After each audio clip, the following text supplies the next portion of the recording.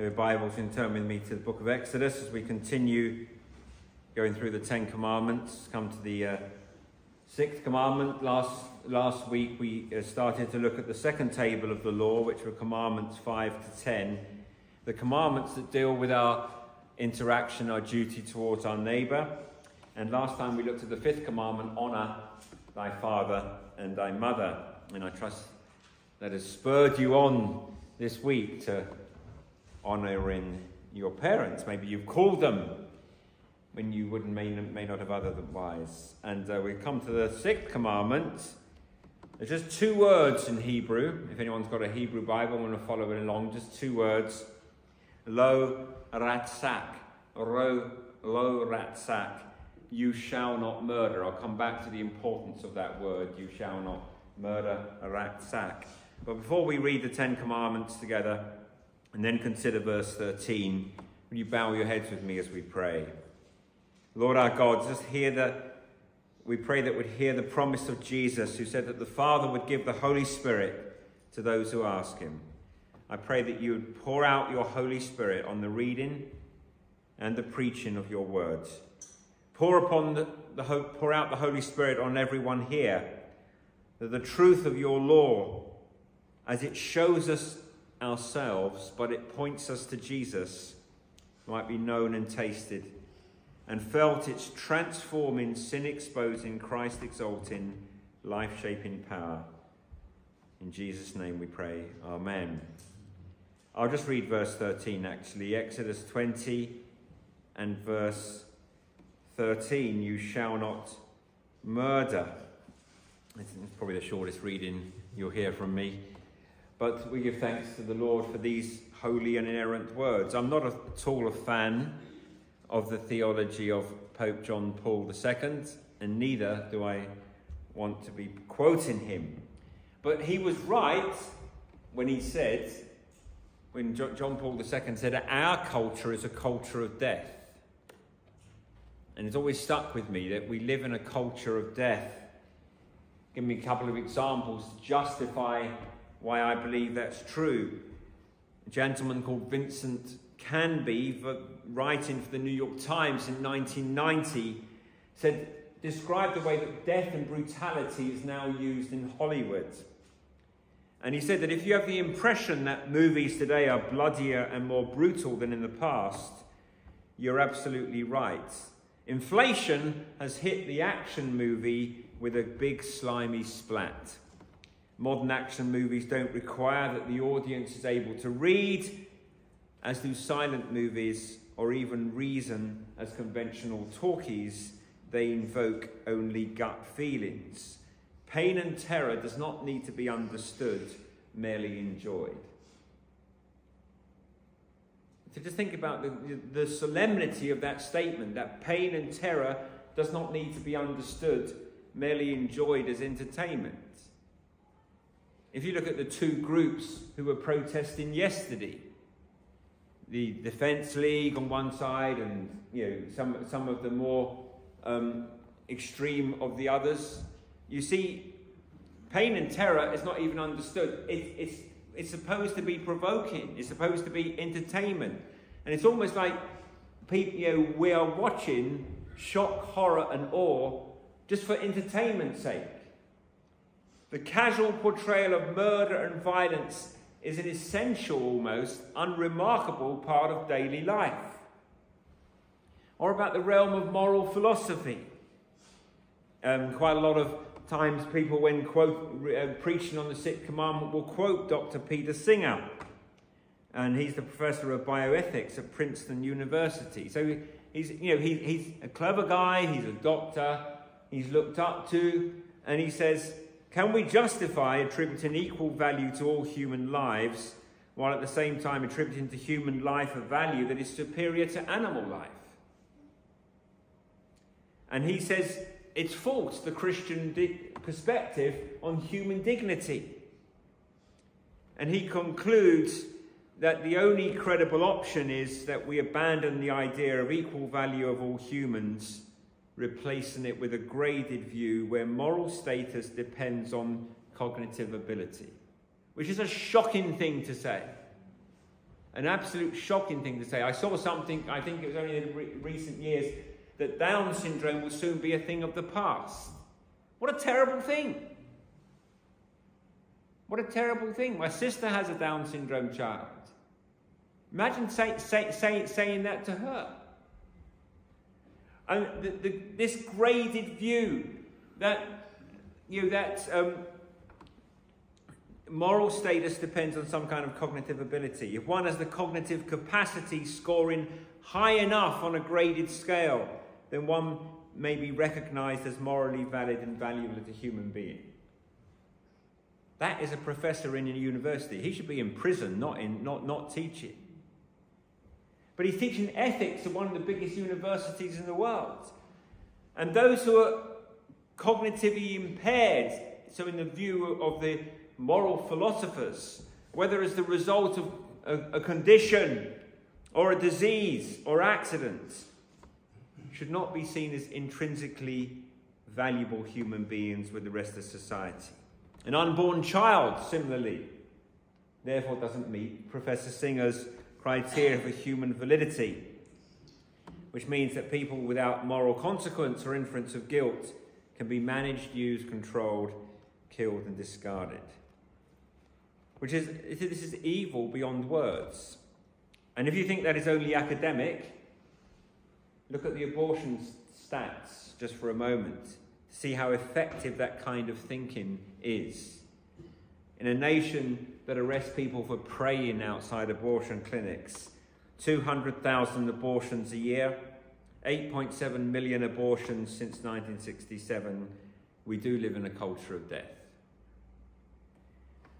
and if rightly against the evil of, of abortion, Christians must be for adoption. We've been adopted into the family of God. So ours is a culture to which the prohibition of the sixth commandment speaks a word of hope.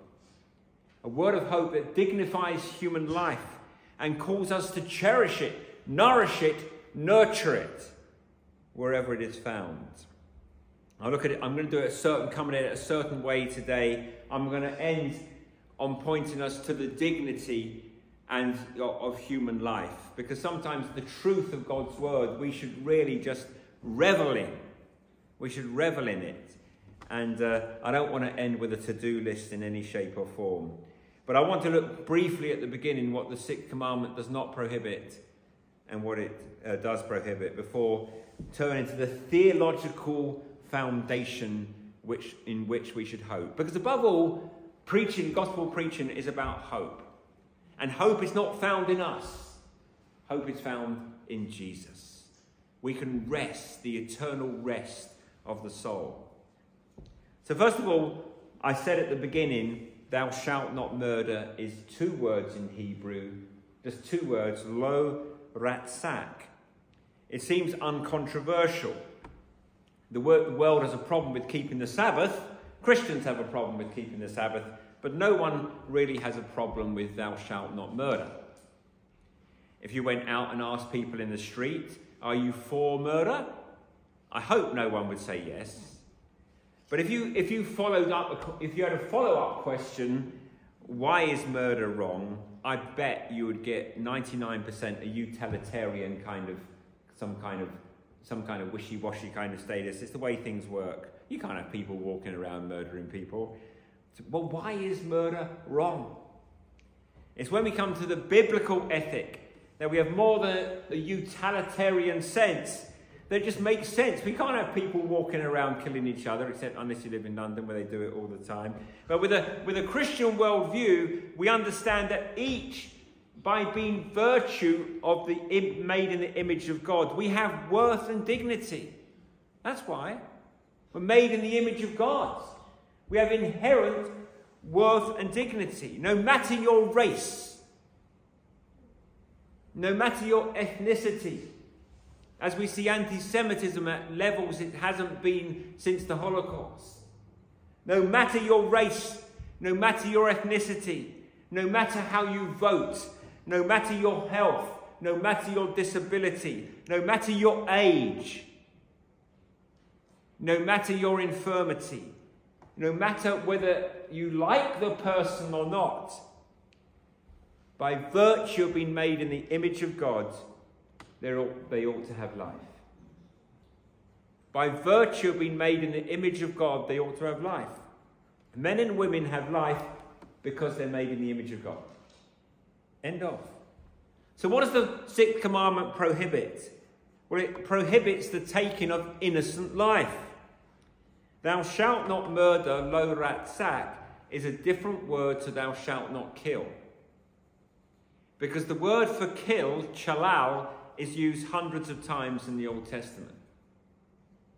But murder, lo ratsak, is, much, is used much more sparingly. So the word in the sixth commandment is doesn't it does not say in Hebrew thou shalt not kill. It says thou shalt not murder. Lo ratsak, not chalal. And uh, that's important. So there are instances where the taking of a human life is lawful. The sixth commandment does not prohibit self-defense. Exodus 22 verse 2, if a thief is found breaking in and is struck so he dies, there is no blood guilt for him. But if the sun has risen on him, there shall be blood guilt for him. He shall pay. If he has nothing, then he should be sold for his theft. So if, you, if it's dark, the, what that is saying is very simple. If it's dark and you kill an intruder in self-defense, you're not to be blamed. But if the sun is up, like if you shoot someone in the back, basically what this is saying, and you had a recourse to do it another way, then it is guilty. Capital punishment. The sixth commandment does not prohibit capital punishment. Genesis 9, verse 6 Whoever sheds the blood of man, by man shall his blood be shed, for God made man in his own image. Now, you can debate, and Christians do, whether capital punishment is carried out fairly or whether our judicial system has the capacity to, to carry it out with integrity. Christians do disagree on those points. But what we see from Scripture is that capital punishment is provided for, not as an affront to the image of God, but because of our belief in the image of God. It is because human life is precious that the taking of human life is treated so seriously. Just war. On this day, Remembrance Sunday, we have to affirm the, the Old Testament does not prohibit war. God sends Israel into battle God fights on behalf of his people. The New Testament does not demand pacifism. Romans 13, verse 4 For the one in authority is God's servant for good, but if you do wrong, be afraid, for he does not bear the sword in vain. For he is the servant of God, an avenger who carries out God's wrath on the wrongdoer. When Jesus addressed the woman caught in adultery, he said, Go and sin no more. He did not say to the centurion, Go and sin no more. Because just by being a centurion in the Roman army wasn't in somehow sinful or ungodly. And if you follow Jesus, you leave the army behind. The sixth commandment does not prohibit every form of killing, but the sixth commandment prohibits intentional murder, the unlawful taking of an innocent life. And what that includes, it includes suicide. Our own life as, as well as the life of others. The sixth commandment prohibits suicide. That's a painful topic, especially painful for anyone who's been affected with family or a friend. But I'm saying this theologically. This is it's not the way that I would lead in a pastoral moment, because you weep with those who weep. You weep with those who weep. But it is fair to say what the Bible says about suicide that it is a sin. Now, there may be extreme cases where the suicidal person has lost, lost sight of their faculties. But in the vast majority of cases, we see suicide as a morally culpable choice. For centuries, it was the church's understanding on suicide. But today, it is celebrated as courageous. And that's what we should speak against. Because the Bible says that even that self-murder is murder. There are five instances of suicide in the Bible, all in shame and defeat. Abimelech, Saul, Ahithophel, Zimri, and Judas. The five um, instances of suicide in the scriptures. where, more, where, more, where other characters ask God to take their lives, God never obliges. Moses, Elisha, Job, and Jonah. And in the case of Job and Jonah, God regards their self destructive respect request unfavorably. Abortion, secondly, Psalm 139, verse 13 For you formed my inward parts, you knitted me together in my mother's womb. And the church, until very recently, has spoken universally against abortion. And societies in society in the early church, it wasn't thought unseemly to kill children in the womb. It was the Christian church with their Jewish heritage that had an elevated, honoured place for children. John Calvin says, For the fetus, it, although in the womb of its mother is already a human being, it's a monstrous crime to rob it of the life which it has not yet begun to enjoy. Life begins at conception. I think we have to affirm that. It's not a religious opinion, in my opinion. It's a scientific fact. Life begins at conception. And I think the sixth commandment, thirdly, just to say before we get into the theological reasons, is it prohibits euthanasia, mercy killing. Di- diagnoses are imperfect. They are imperfect. And we've seen enough people who've been thought to be in a coma come back to life to know that that is the case. So we're to do whatever we can to preserve human life. Now, there is a profound difference between termination of treatment and termination of life. I have to say that.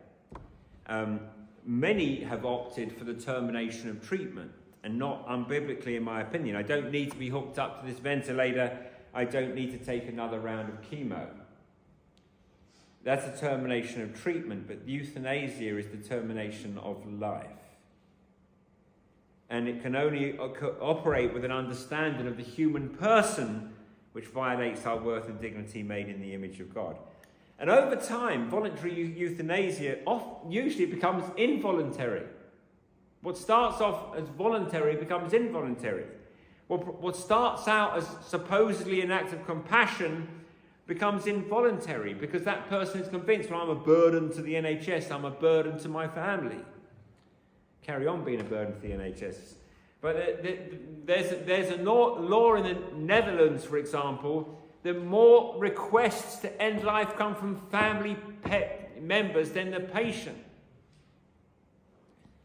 And during the Nazi occupation of the Netherlands, for example, Dutch physicians, Dutch doctors refused to carry out the Nazis' orders to kill elderly and terminally ill patients. But in 2001, 2001, some time ago now, Holland was the first country to give legal status to doctor assisted suicide. Malcolm Muggeridge said, One generation, one generation transformed a war crime to an act of compassion. Psalm 41, verse 1 Blessed is the one who considers the weak. In the day of trouble, the Lord delivers him. Every human being has worth and honour. Whether they can walk and run or jump or not, whether they can speak or not, whether they have a burst in IQ or not, whether they're young and healthy or old and aging. And I'm towards the young and, you know, never, never mind. But it's, it's, it's the same worth, same worth. It's not on a, on a sliding scale. You don't become less worthy as you get older. You're not less worthy when you're younger. Same worth made in the image of God. And those who are weak deserve special care. They're not burdens. The old are not burdens. Children are not burdens. To provide comfort, help, and care throughout their lives, however long God would give them to live. We have an opportunity to show something different as Christians on how we understand the human person, and we will not murder, whether they're in the womb or whether they're old and aged, whether they're thought to be worth little or whether they're depressed and discouraged, we will value human life. Today we will value human life. But Jesus transforms the sixth commandment. In Matthew 5, verse 22, I say to you, everyone who is angry with his brother will be liable to judgment. Whoever insults his brother will be liable to the council. Whoever says, You fool, will be liable to the hell of fire. John writes 1 John 3, verse 15 Everyone who hates his brother is a murderer. And you know that no murderer has eternal life abiding in him. The level of discourse of the world today is hateful. You don't have to spend more than five minutes on social media to see how nuts people are. The hate, and, and when you hate, it leads to murder. The root as well as the fruit is forbidden. The reach of the sixth commandment extends to our hearts, not just the actions of our hands. The sixth commandment is a radical commitment to the welfare of our neighbour. And it calls us to self sacrifice, it calls us to care for the good of all people. I want to show you three principles behind the sixth commandment the dignity of human life, the depravity of human life, but the destiny. Three simple ideas. These are the foundations of the which the sixth commandment rests on. This is what gives the sixth commandment its force, its urgency, its power. The dignity, the depravity, the destiny of human life. First of all, the dignity. The sixth commandment presupposes that human life is marked with a unique dignity and essential value. Genesis 1, verse 27, which I read at the beginning, says that we are made in the image of God. God created man in his own image. In the image of God, he created him, male and female, he created them quite a, apart from any gifts we possess, quite apart from our cognitive ability, all people are created equal in dignity and value because we're the image bearers of Almighty God. The likeness of the Creator shines in the features of the least and the lowest. The destitute and the diseased, the homeless, the infirm, the elderly, the infant, the unborn, they're formed by God's hands and are redolent of their maker. God says, Genesis 9, verse 6 Whoever sheds the blood of man, by man shall his blood be shed. The sixth commandment therefore teaches us that murder is a sin because it is an assault on the dignity of a human being that is made in the image of God. James, the brother of our Lord, connects the violation with the sixth commandment following the teaching of the Lord Jesus in the, the um, Sermon on the Mount. When we misuse our speech in our anger and resentment, we wound one another. He shows us that murder is sin and points us to the fact that when we misspeak, we're doing injury to the image of God in our neighbour. With it, we bless our Lord and Father and with it we curse people who are made in the likeness of God. From the same mouth come blessing and cursing, my brothers, these things ought not to be so.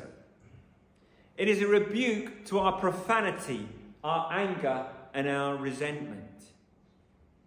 It is that same spirit, our malicious tone, our use of profanity, our hateful speech, our passive aggressive manipulation does not avoid the condemnation of the sixth commandment.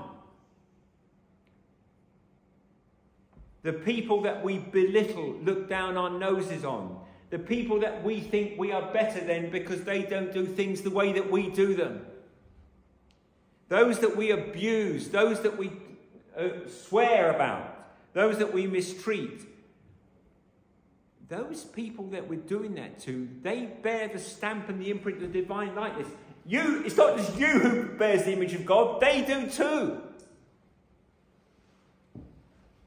So your assault on them is an assault on God. And God dignifies their humanity as well as yours in his image. John Calvin said, Our neighbours bear the image of God. To use him, abuse him, or misuse him is to do violence to God. the dignity of human life. God God has stamped human beings with his image, so that in our thoughts and our words and our works, we give respect to the image of God in other people. Secondly, the depravity of human life. The second thing to see that the sixth commandment presupposes is not just the dignity, but the depravity.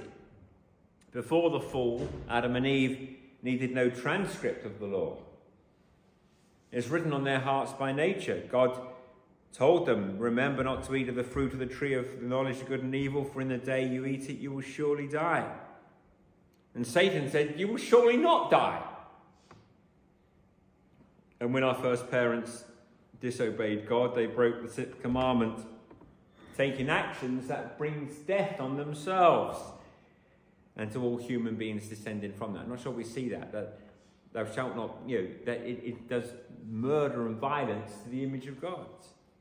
Romans 5, verse 12. Therefore, just as sin came into the world through one man and death through sin. We have death because of sin. So death spread to all men because all sinned. Adam's sin killed himself. And all mankind descending from him. So it's hardly surprising that the first recorded sin in Scripture, apart from the fall, is what? Murder. Where Cain killed Abel. And if you continue to read in the Genesis account, one of the strikest features of the narrative is that depravity becomes quickly more apparent. So, only six chapters in, Genesis 6, verse 5, the Lord saw that the wickedness of sin was great, of man was great in the earth, and every intention of the thoughts of his heart was only evil continually. Now, that means, among other things, that the law of God written on our consciences by nature was no longer a reliable guide. And God provided for us his law, his written word, given at Sinai in tablets of stone and preserved for us in the Holy Scriptures to inform our sin darkened consciences, to restrain the worst excesses of our depravity, to guide our contact, our conduct as a society. We rejected God's standards. We determined the ethics of our codes by pragmatic considerations, and so we live in a culture of death. God calls us not just individually, not just as a church, but as a society to a culture of life where human dignity is preserved and honoured from the womb to the tomb. The command was given because of human dignity, but also because of human depravity, which reminds us that we need a Saviour. It shows us the depravity of our hearts. It shows us that we all fall short of God's glory, that we have become transgressors of His law. Mankind is in need of deliverance. And one function of God's law, if you, if you go back to the function of God's law, is to show us how much we need rescuing. We need the law because it shows us how much we need a Saviour. Venom towards others comes naturally and it's seen as a good thing. There are people who set out to be venomous. The same tongues, have you seen the hypocrisy, the hypocrisy of it? The same tongues that pretend to stand here and worship God. The same tongues pour venom on the image of God in other people. We stoke the fire of grudges. We nurse resentment. We take opportunities for vengeance. We set ourselves to be vengeful when we just sit here very, very piously saying, Our Father, forgive us our sins as we forgive those who sin against us. We're hypocrites.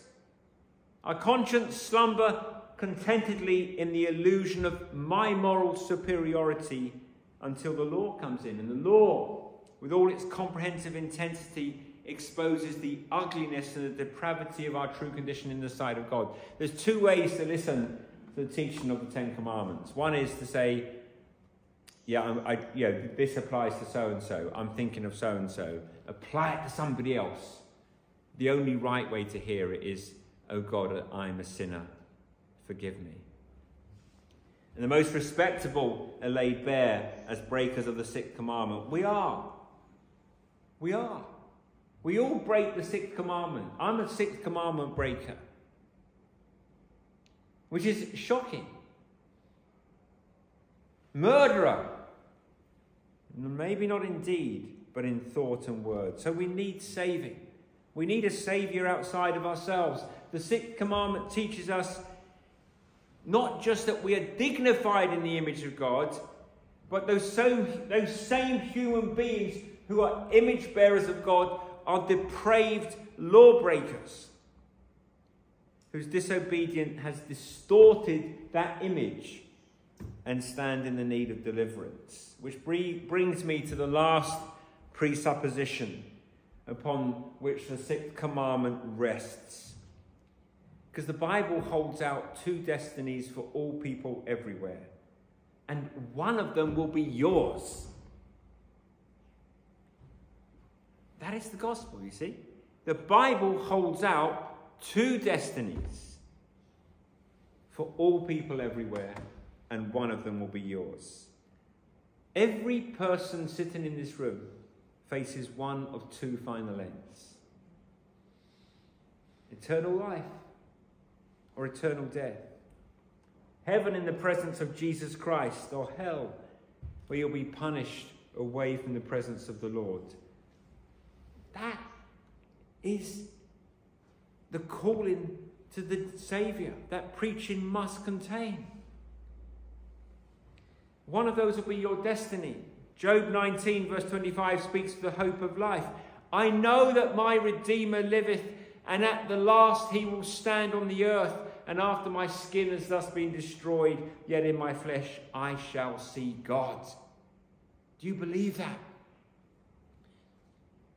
David in Psalm 118, verse 17, he sings, I shall not die, but I shall live. I shall not die, but I shall live. We are longing, Revelation 21, verse 4, for when he shall wipe away every tear from their eyes, and death shall be no more. At his second coming, neither shall there be mourning, nor crying, nor pain any more, for the former things have passed away. Daniel 12, verse 2, gets the balance of this right. Many of those who sleep in the dust of the earth shall awake, some to everlasting life, some to shame and everlasting contempt. Eternal life is the Christian's great hope. I'll always remember those words from Peter Maiden, who said to me, James, when did you last preach a sermon about heaven? Because there, there is no point to anything we do. It's just plain, it's just been dumb, it's just been stupid if there isn't our eternal hope constantly presented to us. Eternal death is the warning set before the unbeliever because eternal life or eternal death describes the destiny of everyone in this world. Those who do not repent and believe in Jesus Christ will go to hell forever. So, how does that relate to the sixth commandment?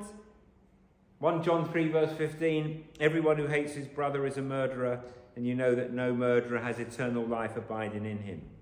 So everyone who has broken the sixth commandment is going where? What's the consequences of our breach of the sixth commandment? Have you broken the sixth commandment? There's only one answer to that. You have, and so have I. And what is the consequence? A lost eternity. How shall we then, those of us who've broken the sixth commandment, find that life and not death might be ours when it is death we deserve? You see the logic of that? The point of that? How shall we escape? Those of us who've broken the sixth commandment. And God has made a way in the death of his son. God has made a way where there seemed to be no way. Christ was murdered.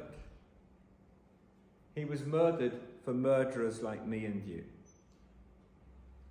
The only one who never broke the sixth commandment was murdered for all of those of us who have. Think of Jesus bleeding and dying amid the insults and mockery of the crowd that crucified him. Think of Jesus crying, dying, You hear the piling up of the breaches of the sixth commandment. Pilate washing his hands of him. The religious leaders baying for his blood. The world is covered in darkness as the Son of God, the life giver, is murdered at the hands of the people he came to save. And what does he say? What does he say as his lifeblood ebbs away? What does he say to murderers? Father, forgive them. Father, forgive them. We who have broken the sixth commandment, what must we do? We must go to Jesus crucified and hear him say, Father, forgive them. I thank the Lord, and this is what we can rest in that there's mercy for murderers at the foot of the cross. There is a pardon for you in Jesus Christ. Will you not come again? Or would you maybe come for the first time to Jesus Christ and ask for mercy, acknowledge the depravity of your heart, and seek the cleansing that only Jesus can give you? Father, forgive them. Let's pray. Heavenly Father, we bow before you. We turn anew to Jesus. He is the image of the invisible God, and he was murdered so that we might live. Would you have mercy on us, that our Saviour's prayer for murderers might be true in our case? Father, forgive them. In Jesus' name, amen.